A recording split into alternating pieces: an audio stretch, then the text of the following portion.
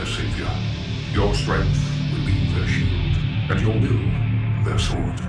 You remain unbroken, for your fight is eternal. eternal.